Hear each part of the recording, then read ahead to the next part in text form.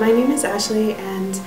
I've been working with Techno Kids for several months now. This is the second time with the program. In Techno Kids, we introduce the children to PowerPoint, but we also um, teach them how to use photo editing programs and also some other slideshow programs that are main, mainly designed for children. I chose to work with Techno Kids because I think it is very important to introduce children to both English and also to teach them computer skills at as, at as young of an age as possible um, when they're still ready to absorb all of the information.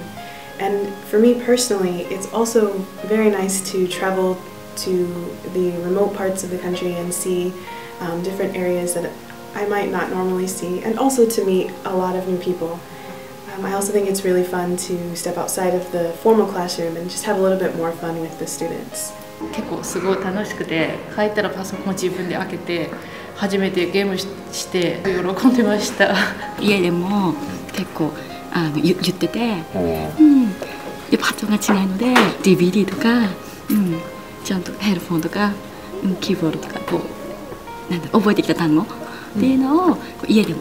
う。ん、結構喋ってるので毎回楽しみにしてるので、うん、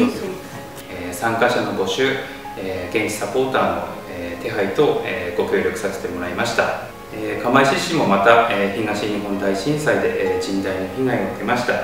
現在復興に向けた取り組み事業を進めているところではありますが、え、建物や、え、橋といった、え、ハード的なものではなくて、え、心の復興、え、特にも、えー、明日を担う子どもたちのえ心の復興を果たすことが教育の役割だと思って職員一同頑張っております。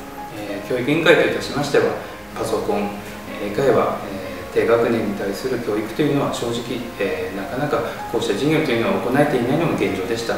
本当にあの震災もあって学習環境というのが、えなかなか、え醸成されていない中こうした機会を持っていただくことに、え感謝申し上げます。外国語理解というのは本当にあのこれから、え必須の時代だと思っております、